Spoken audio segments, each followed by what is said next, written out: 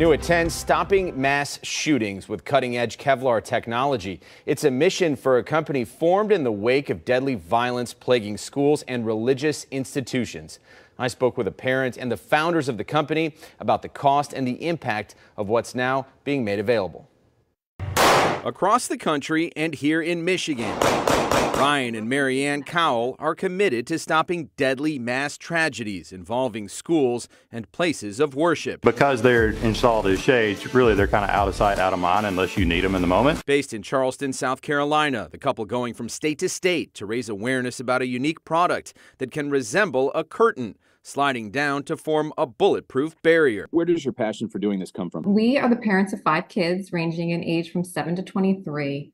And when Uvalde, Uvalde happened, it was a real turning point for us. Aligned with company Ballistic Barrier in 2022 and creating forced entry protection, they've worked to fill gaps in security.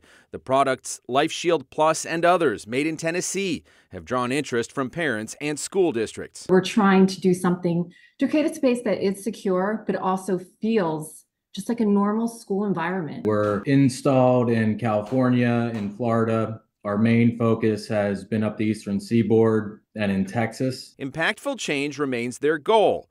But unlike others, they say they found a way to cover costs at the same time. We have a security product that is eligible to be purchased with COVID dollars, unspent mm-hmm. COVID dollars. And so, you know, when you when you look at Oxford or or Michigan State, Michigan as a whole, response to those events in Michigan was $25 million put towards SROs. Our product is between 15 and $20 as a one time purchase to take care of the entryway in one year. At Michigan State University, updated cameras and door locks have been installed in the wake of a deadly mass shooting in Oxford, where a gunman killed four students and wounded others in November 2021 at the high school.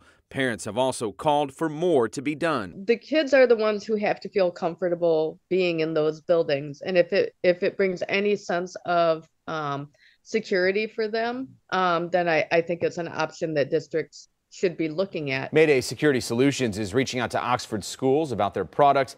They're also listening closely to parents demanding more steps be taken. We've also reached out to Oxford schools for comment, but have not yet heard back.